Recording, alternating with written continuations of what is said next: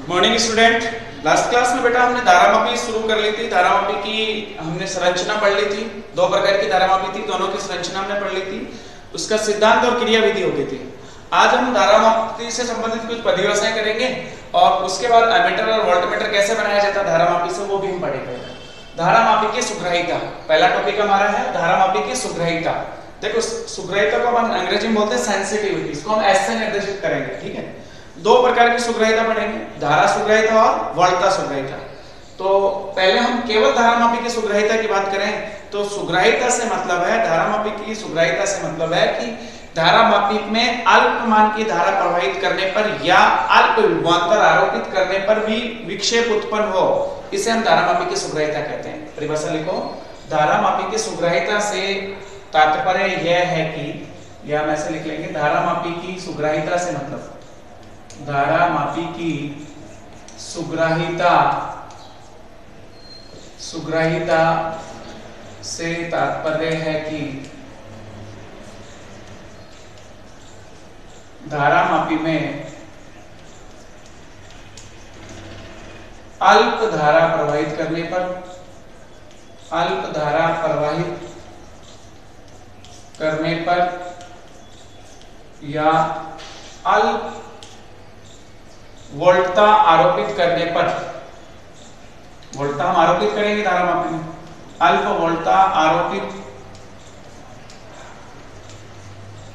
करने पर भी, करने पर भी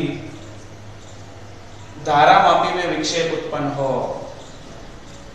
धारामापी में विक्षेप उत्पन्न हो। विक्षेप उत्पन्न हो। इसे हम धारामापी की सुग्राहिता कहेंगे समझ में आएगी परिभाषा बहुत इजी है।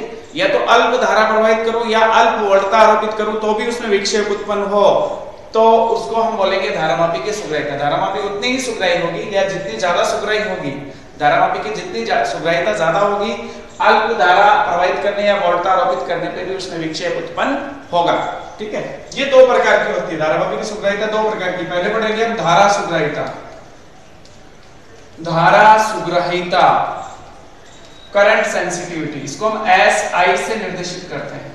धारा सुग्राहिता, देखो बहुत इजी है। धारा सुग्राहिता के लिए हम एक फॉर्मूला लिख रहे हैं। हम जानते हैं, हमने एक चीज़ पढ़ी थी पहले, जब हमने सिद्धांत किया था तो धारा और फाई धारा और विक्षेप एक दूसरे के समानुपाती होते थे इसमें।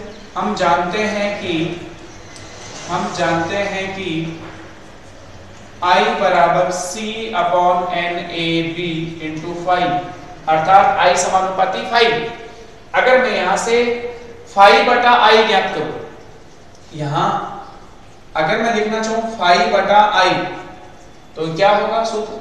फाइव बटा I I upon N A B ऊपर चला जाएगा। एन ए बी बटा सी जिसको, इसको आपने के बोला था तो एन ए बी बटा सी क्या हो गया? वन अपॉन के ये जो आई बटा फाइव है, इसी को हम धारा सुग्राहिता बोलेंगे इसी को हम क्या लिखेंगे?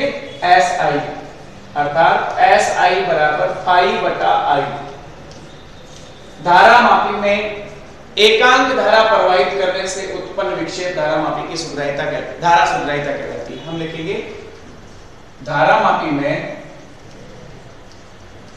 धारा मापी में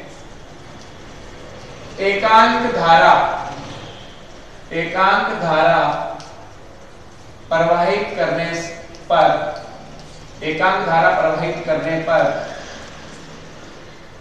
करने पर धारा मापी में, धारा मापी में उत्पन्न विक्षेप उत्पन्न विक्षेप मतलब फाइव अगर आई का मान एकांक हो तो ऐसे बराबर भाई धारा मापी में एकांक धारा प्रवाहित करने पर धारा मापी में उत्पन्न विक्षेप धारा मापी की धारा सुग्राहिता कहलाती है। धारा सुग्राहिता कहलाती है। सुग्राहिता कहलाती है। परिभाषा इंपॉर्टेंट है, पूछी जाती है एग्ज़ाम में। कहलाती है। इसको हम धारा मापी की क्या कहेंगे? धारा सुग्राहिता। अगर धारा मापी में एकांक धारा प्रवाहित करूँ तो उससे उत्पन्न विक्षेप की धारा मापी की धारा सुग्राहिता कहलाती है। अब हम इसको कैसे बढ़ा सकते हैं? धारा मापी की धारा सुग्राहिता कैसे बढ़ाई जा सकती है? ऐसा ही का मान आपके देखो पास सूत्र लिखा हो फाइव बटा आई को आपने ऐसा ही बोला, धारा सुग्रहिता, जिसका मान है एन ए बी बटा सी। ऐसा ही का आपके पास सूत्र हो गया, एन ए बी बटा सी। तो धारा मापी की धारा सुग्रहिता कैसे बढ़ाई जा सकती है? क्वेश्चन आपके पास पूछा जाएगा। धारा मापी की, धारा मापी की धारा सुग्रहिता कैसे बढ़ाई जाती है? धारा सुग्रहिता कैसे बढ़ाई जा सकती है? या कैसे बढ़ाई जाती है?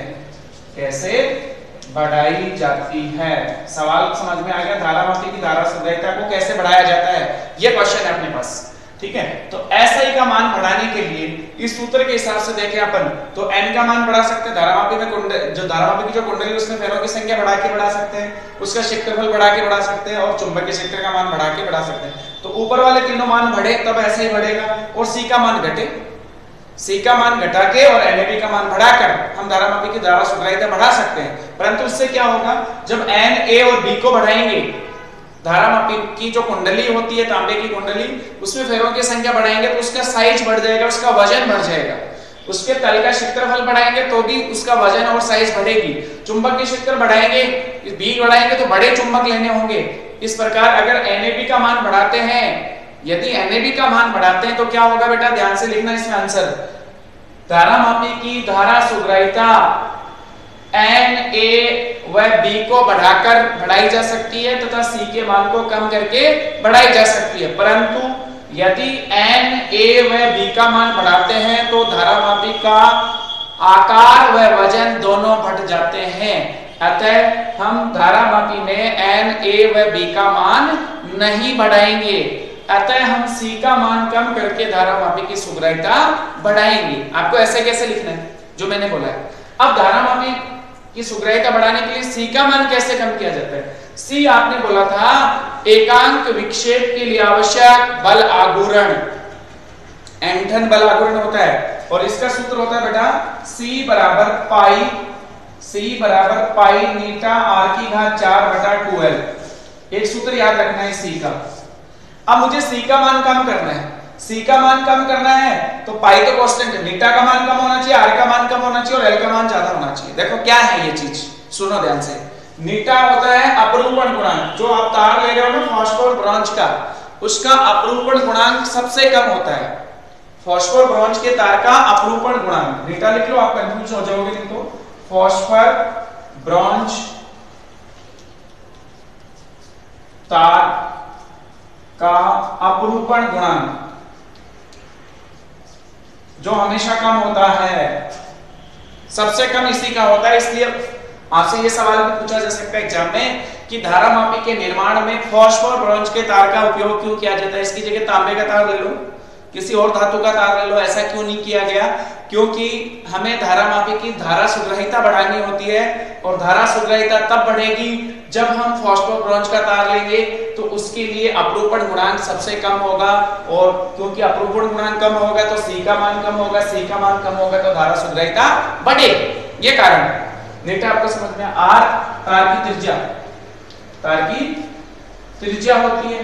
तो आपने संरचना में लिखा था कि जो तार की त्रिज्या या तार की जो मोटाई, वो बहुत कम होती है। पतला तार लिया जाता है। तार पतला होगा तो उसकी त्रिज्या कम होगी, त्रिज्या कम होगी तो सी का मान कम होगा, सी का मान कम होगा तो धारा सुग्रहिता बढ़ेगी बेटा।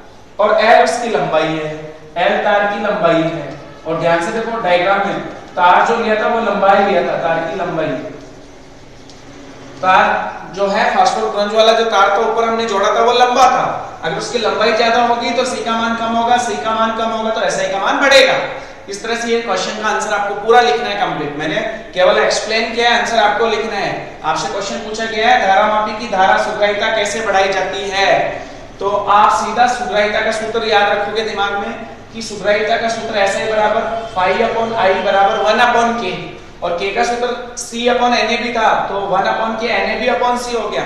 धारा मापी की धारा सुग्राहिता बढ़ाने के लिए हम धारा मापी के कुंडली में फेरों की संख्या बढ़ाकर, कुंडली के तल का क्षेत्रफल बढ़ाकर व चुंबकीय क्षेत्र का मान बढ़ाकर धारा सुग्राहिता बढ़ा सकते हैं। तथा सी के मान में कमी करके भी हम धारा सुग्राहिता का मान बढ़ा सकते हैं। परंतु अतः हम सी का मान कम करके ही धारा सुग्राहिता बढ़ाएँगे, क्योंकि एन ए व बी का मान बढ़ाने से धारा मापी का आकार व वज़न दोनों बढ़ जाते हैं अतः हम सी का मान कम करके धारा सुग्राहिता बढ़ाएँगे। और सी का मान कम कैसे किया जाता है? इस सूत्र के हिसाब से हम देख, देखेंगे बेटा। सी का मान कम करने के लिए हम फास्फोरस का तार कम लेंगे फास्फोरस का तार कम लेंगे जिसके लिए नीटा कम होता है उसकी त्रिज्या उसको पतला तार लेंगे। त्रिज्या कम होगी उसकी लंबाई ज़्यादा रखते हैं। ठीक है? तो हम सी का मान घटा के सुग्राहिता बढ़ाएँगे। चलो, धारा सुग्राहिता आपको अच्छे से क्लियर होगी।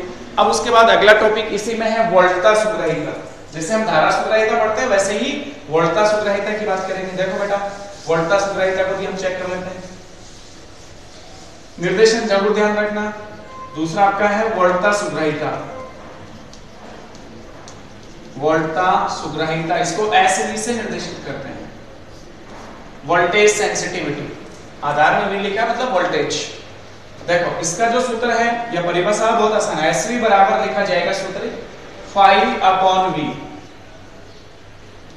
धारा मापी में, या धारा मापी में एकांक वोल्टता आरोपित करने पर एकांक धारा की जगह पर क्या लिखेंगे?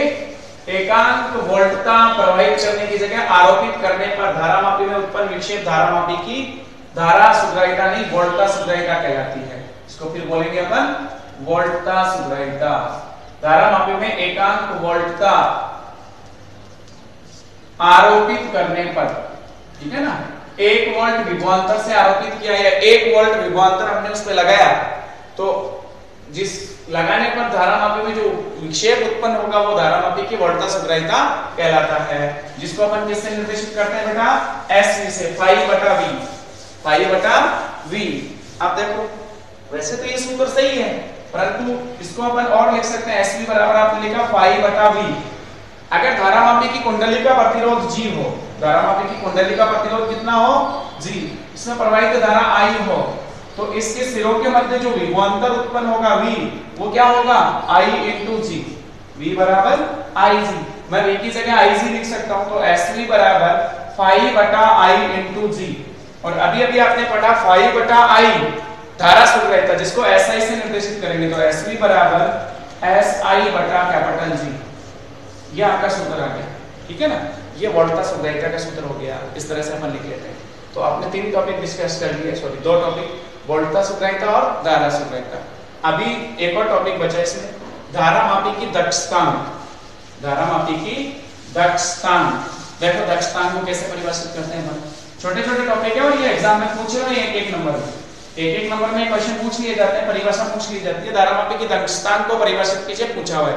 धारा मापी की धारा सुग्राहिता को परिभाषित कीजिए, पूछा हुआ ठीक है धारा मापी की दक्षतांक अंग्रेज़ी में इसको फिगर ऑफ़ मेरिट बोलते हैं और ये एग्ज़ाम ये इसका प्रैक्टिकल भी है। दक्षतांक का प्रैक्टिकल भी है। इसको जनरली अपन धारा मापी की दक्षतांक को एक्स से निर्देशित करते हैं। ठीक है ना, इसको इससे एक्स से निर्देशित करते हैं। धारा सुग्राहिता के युद्धक्रम को धारा मापी की दक्षतांक कहते हैं। मतलब x बराबर वन अपॉन एस आई क्योंकि एस आई बराबर फाइव बटा आई इसलिए x बराबर सूत्र क्या हो जाएगा? i बटा फाइव कैसे परिभाषित करोगे? अतः धारा मापी में, अतः धारा मापी में एकांक विक्षेप एकांक विक्षेप, अगर फाइव का मान एक ले लू, एकांक विक्षेप के लिए आवश्यक धारा को, अतः धारा मापी में एकांक विक्षेप के लिए आवश्यक धारा को धारा मापी की दक्षतांक कहते हैं। धारा मापी की दक्षतांक कहते हैं।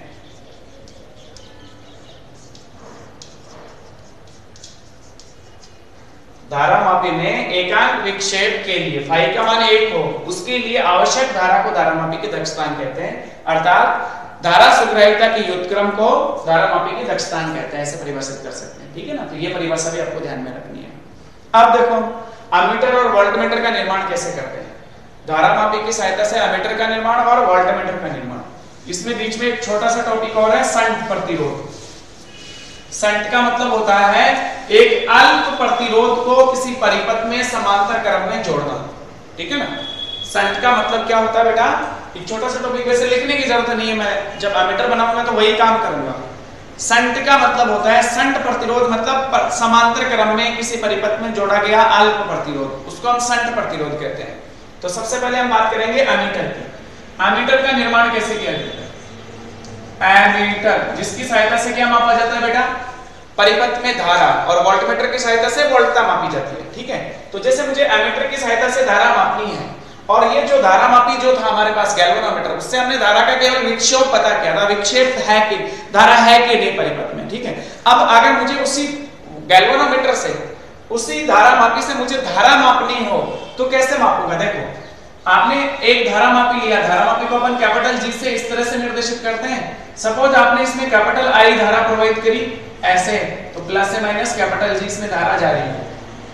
अचानक से अगर धारा का मान बढ़ जाता है, ठीक है ना तो क्या होगा, इसकी कुंडली नष्ट हो सकती है। इसके अंदर जो संकेतक होता है, वो टूट सकता है, ठीक है। इसके अंदर जो फोस्फोर ब्रॉन्ज का तार होता है, वो टूट सकता है। एकाएक अधिक धारा प्रवाहित करने से। इसलिए उस कुंडली को धारामापी की कुंडली को नष्ट होने से बचाने के लिए मैंने इसके समांतर क्रम में एक संट प्रतिरोध जोड़ दिया। और अब ये एमीटर की भांति व्यवहार करेगा। अब अगर धारा का मान ज़्यादा होगा ना यहाँ पे तो वो धारा यहाँ आके बढ़ जाएगी। इसमें धारा कम जाएगी, जिसकी वजह से कुंडली नष्ट होने से बच जाएगी। देखो, यहाँ आते ही धारा बटी। मान लो इसमें धारा गई आई जी और इसमें धारा गई आई एस संट प्रतिरोध आपका कैपिटल एस था। गैल्वेनोमीटर का प्रतिरोध कैपिटल जी है संट प्रतिरोध कैपिटल एस है। सवाल यह है कि आपसे क्वेश्चन ये पूछा गया कि धारा मापी की सहायता से अमीटर का निर्माण कैसे किया जाता है? तो आपके दिमाग में एक ही सवाल रहना चाहिए। धारा मापी की सहायता से अमीटर का निर्माण करने के लिए धारा मापी के समांतर क्रम में एक अल्प प्रतिरोध या संट प्रतिरोध जोड़ दिया जाता है। उसके बाद ये व्यवस्था एक अमीटर की भांति व्यवहार करती है या अमीटर की तरह काम करती है। ये प्रश्न आपसे पूछ सकता है एग्ज़ाम में। अब आप गैल्वेनोमीटर वाला दो तरह के गैल्वेनोमीटर आपने पढ़े धारा मापी दो प्रकार के पढ़े। एक किलकित कुंडली धारा मापी और निलंबित कुंडली धारा मापी किसी भी धारा मापी को उठा लो और उसके समांतर क्रम में संत प्रतिरोध जोड़ दो, वो एमीटर की भांति व्यवहार करेगा। ठीक है, आप किताब से देखना डायग्राम उसमें किलकित कुंडली धारा मापी लिया हुआ है। और किलकित कुंडली धारा मापी के समांतर क्रम में T1 व T2 के सापेक्ष हमने एक संत प्रतिरोध जोड़ा हुआ है। ठीक है, फिर वो एक एमीटर की भांति व्यवहार करता है। ठीक है ना? वो डायग्राम आप किताब से बनाओगे। मैं केवल आपको इसका पूरा एक्सप्लेनेशन बताता हूँ कि इसमें इसका तुल्य प्रतिरोध कैसे निकालेंगे संट प्रतिरोध का मान क्या होगा, ये जो धारा आएगी इसका मान क्या होगा, वो सब हम ज्ञान करेंगे। अब हम बेटा कॉन्सेप्ट से या लॉजिक से जानते हैं कि अगर दो प्रतिरोध समांतर क्रम में जुड़े हैं तो इनके जो सिरों के मध्य विभवांतर होता है, वो समान होता है। इसके सिरों के मध्य विभवांतर वीजी मान लिया, इसके सिरों के मध्य विभवांतर वीएस मान लिया। लॉजिक से हम सीख क्या है कि वीजी का मान वीएस के बराबर होता है। वीजी बराबर वीएस सीखते हैं हमें। कुछ नहीं आता।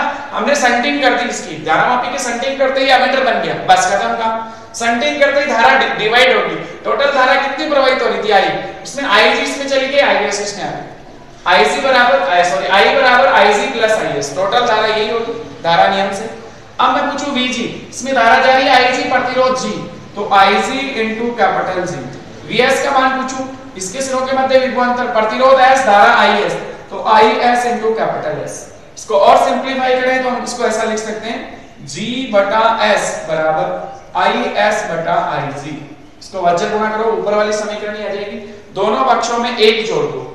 जी बटा एस प्लस वन बराबर एस बटा आई जी प्लस वन दोनों पक्षों में एक जोड़ दिया। इधर लघुत्तम लिया एस ऊपर आ गया जी प्लस एस बटा एस इधर लघुतम है आपका जी ऊपर आ गया बेटा आई एस प्लस आई अब मुझे आई जी ज्ञात करना है तो उल्टा कर लो इसको। उल्टा कर लो इस वाली राशि को इधर देखो। आई जी बटा आई एस प्लस आई और आई एस प्लस आई को क्या लिख सकता हूँ मैं? आई ठीक है? बराबर एस बटा जी प्लस एस इसको इधर ले जाओ, इसको चूँकि I S plus I S plus I G को क्या लिख देंगे? आई तो आपके पास समीकरण बन गई आई जी बटा आई बराबर एस बटा जी प्लस एस आपको तो क्या ज्ञात करना था बेटा? केवल आई जी गैलोमीटर में धारा कितनी जा रही है? तो वज्र गुणा कर लो आई इधर आ गया। कैपिटल एस बटा जी प्लस एस इसमें से धारा ज्ञात करनी है, कुल धारा इसके समांतर क्रम वाला प्रतिरोध बटा कुल प्रतिरोध, ये सूत्र बन गया। ठीक है ना? उसके बाद, मान लो आई एस ज्ञात करना है तो कुल धारा इसके समांतर क्रम वाला प्रतिरोध जी बटा जी प्लस एस ज्ञात कर सकते हैं अपन इजीली ठीक है? या मुझे संट प्रतिरोध का मान ज्ञात करना है? मुझे तो केवल एस का मान ज्ञात करना तो यहीं से अपन एस का मान ज्ञात कर सकते हैं। मैं इसको समीकरण संख्या एक दे देता हूँ। इसको बोल देते हैं एक, इसको हम बोल देते हैं दो। समीकरण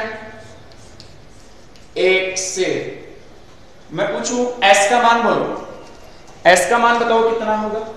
तो एस बराबर आई जी बटा I S into capital G मैं इस वाले समीकरण से आई एस की वैल्यू पूछो तो आई माइनस आई जी यहाँ रख दो। तो एस बराबर आई जी बटा I minus I G into capital G ये एस का सूत्र आ गया।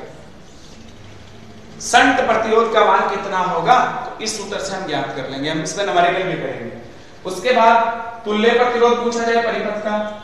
तुल्य प्रतिरोध। दो समांतर क्रम में प्रतिरोध है। तुल्य प्रतिरोध बोलो R1 R2 बटा R1 प्लस R2 अर्थात GS बटा G प्लस S ये तुल्य प्रतिरोध आ जाएगा। GS बटा G प्लस S इस तरह से एमीटर के लिए हमने क्या किया है? इसके समांतर क्रम में धारामापी के समांतर क्रम में एक अल्प प्रतिरोध जोड़ दिया। उसके बाद हमने दो तीन चीज़ें ज्ञात कर ली कि धारामापी में धारा कितनी प्रवाहित होगी संट प्रतिरोध का मान क्या होगा, तुल्य प्रतिरोध पूछे तो हम ऐसे ज्ञात कर लेंगे। इसी प्रकार अपन वोल्टमीटर का निर्माण करेंगे बट इससे थोड़ा सा उल्टा सोचेंगे अपन। एमीटर बन गया बेटा, अब हम बात करते हैं बेटा वोल्टमीटर देखो वोल्टमीटर वाला कंसेप्ट भी इजी है। धारा मापी की सहायता से वोल्टमीटर का निर्माण कैसे किया जाता है? इसके श्रेणी क्रम में उच्च प्रतिरोध जोड़ के। आपसे क्वेश्चन पूछ सकता है धारा मापी की सहायता से अमीटर व वोल्टमीटर का निर्माण कैसे किया जाता है? अमीटर का तो आपने सीख लिया। धारा मापी की सहायता से अमीटर के निर्माण के लिए एक अल्प प्रतिरोध समांतर क्रम में जोड़ दिया जाता है। तथा वोल्टमीटर के निर्माण के लिए उच्च प्रतिरोध श्रेणी क्रम में जोड़ा जाता है। एक नंबर का ये सवाल आपसे पूछ सकता है। तो वोल्टमीटर के लिए देखो वोल्टमीटर से अपन वोल्टता मापेंगे बेटा। वोल्टमीटर का निर्माण। आपके पास वही धारा मापी था, गैल्वेनोमीटर जी ठीक है? इसमें धारा सपोज़ आई आईसी प्रवाहित हो रही है ऐसे प्लस से माइनस मैं आपसे पूछूँ कि अगर मैं इसके सिरों के मध्य वी विभवांतर आरोपित करूँ, कितना? वी विभवांतर आरोपित करूँ। और अगर विभवांतर का मान ज़्यादा होगा तो क्या इसकी कुंडली नष्ट हो सकती है? बिल्कुल नष्ट हो सकती है। ज़्यादा वी आरोपित करने से कुंडली नष्ट हो सकती है। इसका पॉइंटर टूट सकता है का तार टूट सकता है। इसलिए हमें पता है कि श्रेणी क्रम में वोल्टता जो है, वो भिन्न भिन्न होती है। हमने क्या किया? एक उच्च प्रतिरोध आ रहा है जिसके श्रेणी क्रम में जोड़ दिया। तो जो आरोपित विभवांतर है, वो कुछ विभवांतर यहाँ पतन होगा, विभव का पतन होगा, कुछ यहाँ पे होगा। ठीक है ना? तो ज़्यादातर पतन यहाँ हो जाएगा क्योंकि ये उच्च प्रतिरोध है। आरएच जो है वो हमारा उच्च प्रतिरोध है। और अब ये वोल्टमीटर की भांति व्यवहार करेगा। ठीक है? ये हमने बोला कि भाई वोल्टमीटर की भांति व्यवहार करेगा इस तरह से। आप देखोगे ध्यान से कि अपने पास दो, एक तो गैल्वेनोमीटर हो गया और एक उच्च प्रतिरोध। मान लो गैल्वेनोमीटर के सिरों के मध्य विभवांतर V1 है और इसके सिरों के मध्य विभवांतर V2 है। विभव पतन बोलते तो हम कॉन्सेप्ट से जानते हैं कि V बराबर V1 प्लस V2 V1 धारा IG प्रतिरोध G तो IG into capital G plus V2 धारा IG बह रही है श्रेणी क्रम में धारा समान होती है, प्रतिरोध RH तो IG इंटू RH मान लो आपसे IG पूछे तो IG का सूत्र क्या होगा? यहाँ से कॉमन ले लेंगे IG और ज्ञात कर लेंगे। या मान लो आपसे RH पूछे तो RH के लिए क्या करना होगा इसको पक्षांतर करके इधर लाओ। Ig आर एच बराबर V I G into capital G केवल आपको तो आर एच तो जी का पूरी समीकरण में भाग दे दो। एच का मान आ गया V बटा माइनस कैपिटल जी आई जी से जी कट जाएगा। एच का सूत्र यह गया। V बटा जी माइनस कैपिटल जी आपसे पूछे, इसका तुल्य प्रतिरोध बताओ। तो श्रेणी क्रम में जुड़ जाता है। G आर एच लिखने की ज़रूरत नहीं। अब अपन एक सवाल करते हैं बेटा। ठीक है ना? कॉन्सेप्ट आपको समझ में आ गया। श्रेणी क्रम में विभवांतर अलग, धारा समान हमने V बराबर V1 प्लस V2 लिखा है। यहाँ से RH का मान इंपॉर्टेंट होता है, वो ज्ञात कर लिया। IG भी ज्ञात कर सकते हैं।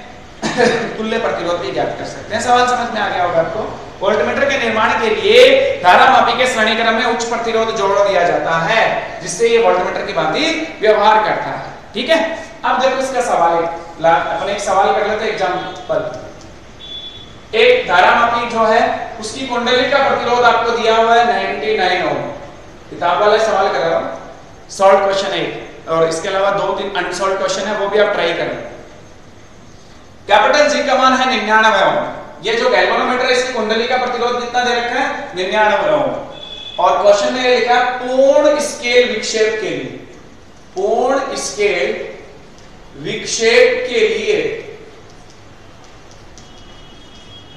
धारा मापी में आवश्यक धारा।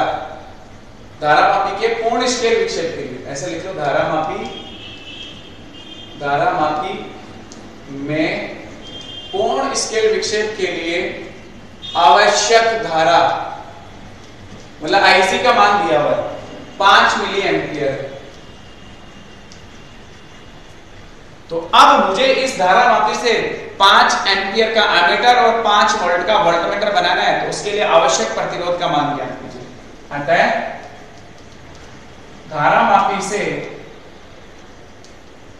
धारा मापी से पाँच एम्पियर का एमीटर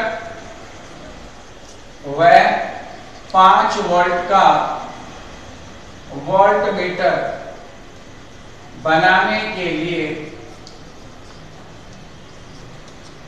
आवश्यक प्रतिरोध ज्ञात कीजिए।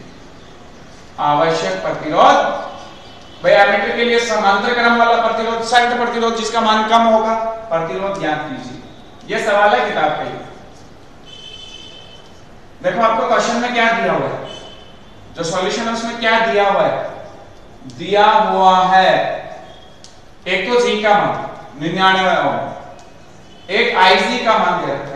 पूर्ण स्केल विक्षेप के लिए। मतलब पहले मान लो जब धारा प्रवाहित नहीं कर रहे थे तो उसका जो संकेतक था धारा मापी का वो बीच में था। जैसे ही धारा प्रवाहित करी, पूरा विक्षेपित हो गया या इधर विक्षेपित हुआ होगा, धारा के प्रभाव पे डिपेंड करता है कि विक्षेप किधर होगा। तो उस समय उसमें पूर्ण स्केल विक्षेप मतलब पूरा विक्षेप हो जाता है। उसके लिए आवश्यक धारा पाँच मिली एम्पियर है। पाँच मिली एम्पियर अर्थात पाँच गुणा दस की घात माइनस तीन एम्पियर। इतनी धारा प्रवाहित करने से भी वो विक्षेपित हो जाती है। सुई। ठीक है? इसका मतलब वो बहुत ज़्यादा सेंसिटिव है आपका गैल्वेनोमीटर अब बात सुनो, मुझे क्या बनाना है पहले? एमीटर बनाना है। कितने एम्पियर का?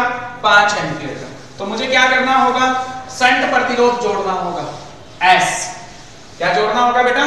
संट प्रतिरोध। देखो, पहले क्वेश्चन में मेरा सवाल या डायग्राम ऐसा होगा गैल्वेनोमीटर जिसकी कुंडली का प्रतिरोध मुझे दिया हुआ है, और इसके समांतर क्रम में एक संट प्रतिरोध कैपिटल एस जोड़ने से यह एमीटर का निर्माण।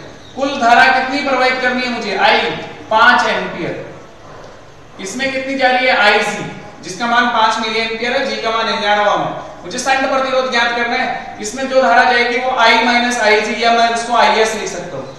मुझे लॉजिक से पता मैं कोई सूत्र नहीं जानता भूल गया सूत्र। मान लो सूत्र ध्यान में नहीं बट अगर मुझे ये ध्यान में है कि एमीटर बनाने के लिए समांतर क्रम में अल्प प्रतिरोध जोड़ा जाता है, जिसे हम संटिंग कहते हैं। अगर आपने ऐसा कर लिया तो आपका सवाल सॉल्व हो गया। अब अब आपको पता है कि भाई समांतर क्रम में विभवांतर या विभव बदल समान होगा। जितना यहाँ होगा, उतना ही यहाँ वीजी मान लिया था आपने और यहाँ वीएस मान लिया था। तो Vg बराबर Vs रखना है आपको कुछ नहीं करना। Vg का मान क्या होगा? Ig into capital G Vs का मान कितना होगा? Is जिसको आप I माइनस Ig भी लिख सकते हो। Into capital S. अब आपको केवल S ज्ञात करना बाकी सब तो पता है। इस I माइनस Ig को नीचे फेंक दो। Ig बटा I minus Ig into capital G Ig का मान बोलो सवाल से देखिए पाँच मिली एम्पियर। पाँच गुना दस की घात माइनस तीन। बटा आई का मान बोलो पाँच। पाँच एम्पियर का मीटर बनाना है। कैपिटल आई का मान पाँच है आपके पास। माइनस आई जी का मान बोलो, फिर से पाँच गुना दस की घात माइनस तीन। कैपिटल जी का मान बोलो, निन्यानवे ओम। तो ये आपका एस का मान आ गया। इसको हल करो। ध्यान से देखो बेटा। पाँच में से पाँच मिली एम्पियर माइनस करूँगा तो कोई फ़र्क? पाँच मिली एम्पियर बहुत छोटी वैल्यू है इसलिए इसको पर नगण्य मान सकते हैं गणना के हिसाब से। बाकी आप पूरा भी हल कर सकते हो। तो ये मान आ गया पाँच गुना दस की घात माइनस तीन बटा पाँच। इसको नगण्य मान लिया। पाँच से पाँच कट गया गुणा निन्यानवे था ये आ गया point zero nine nine ohm या तो ये आंसर या इसके आप राउंडिंग ऑफ़ कर लो। वो, वो कर लो। छोटे अंकों तक लिख लो नौ, पाँच से बड़ा पहले वाले अंक में एक जुड़ जाएगा दस। दस, पाँच से बड़ा पहले वाले में एक जोड़ दो। आंसर आ गया पॉइंट वन क्या पॉइंट वन अल्प मान है? बिल्कुल अल्प ही होता है, तभी तो समांतर क्रम में जोड़ने से यह मीटर का निर्माण हो गया। अल्प ही होता है ये मान। दूसरा देखो, पाँच वोल्ट का वोल्टमीटर बनाना है। डायग्राम याद रखो आप तुम भाई गैल्वेनोमीटर था, जिसमें धारा आईसी बह रही थी। उच्च प्रतिरोध आर एक्स समांतर श्रेणी क्रम में जोड़ने से ये एक वोल्टमीटर बन गया वी ठीक है? वी का मान पाँच वोल्ट है।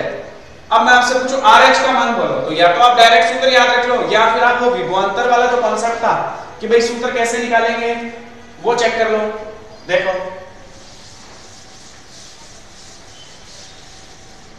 मैं आपसे बोलूँ इसके सिरों के मध्य विभवांतर v1 यहाँ पे v2 तो v बराबर v1 प्लस v2 v बराबर v1 ig into capital G plus ig into capital S. Sorry S की जगह RH है। मुझे R, ये चाहिए। तो इसको मैं इधर ले आऊँगा। RH का सूत्र आपके पास आ गया था। V बटा ig minus capital G v का मान बोलो 5 वोल्ट ig का मान 5 मिली एम्पियर यही था।